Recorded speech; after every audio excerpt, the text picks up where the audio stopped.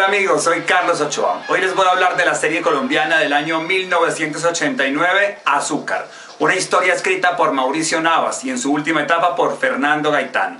Dirigida magistralmente por el fallecido Carlos Mayolo y la dirección asistente Tony Navia.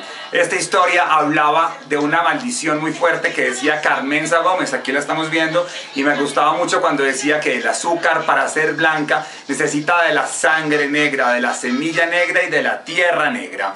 Pues planteaba la historia de la maldición de la familia Solás, una gran hacienda en la época del Valle del Cauca, una familia azucarera. Por aquí les voy a mostrar un poco de imágenes.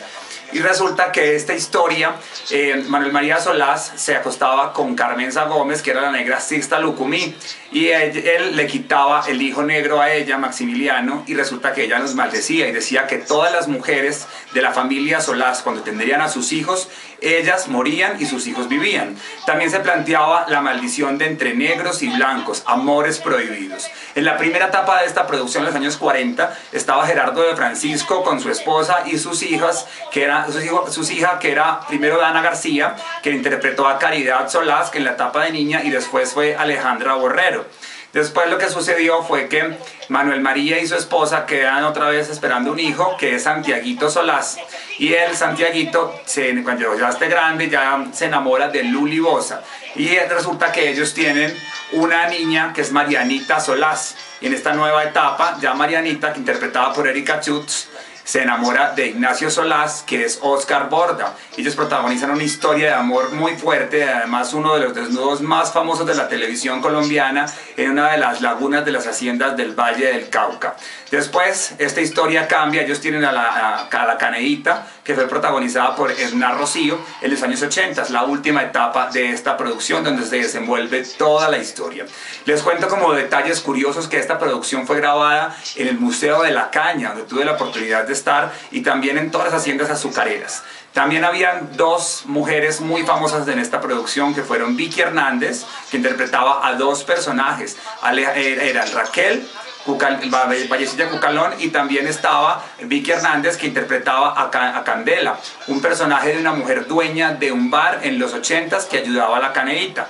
Les cuento que ella tenía una hermana, Raquel, que se llamaba Alejandrina, que le hacía Cristina Lili. Y Cristina la envejecieron poco a poco en esta producción hasta llegar a los 80 cuando se enamoraba de Manuel María en esta hacienda de los Solás.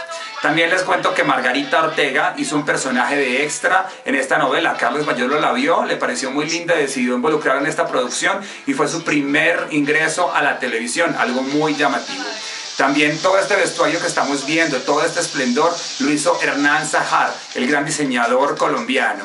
Y bueno, esta novela tuvo muchísimos atractivos, muchísimos actores. Aquí también pasó Jimmy, Jimmy Bernal, el gringo, famoso de Te quiero pecas y dejémonos de vainas, que también era el hijo de Julio Medina, el gran actor colombiano que interpretaba a un gringo que querían comprar toda esta hacienda Solás y toda esta región del Valle del Cauca, que se volvieron los villanos de la novela. En esta producción también eh, participó el fallecido actor Helios Fernández en esta novela Azúcar. Y bueno, la vimos en cada ocho días los martes a las ocho y media de la noche, que era llamativo que las novelas en esta época se emitían cada ocho días, que ya las vemos todos los días. Y Azúcar entonces fue una historia que queremos volver a ver, que nos gusta muchísimo y fue la serie más llamativa para toda la gente del Valle del Cauca y para la gente de, Cali, con, donde planteaban toda la música de la salsa y todo este esplendor.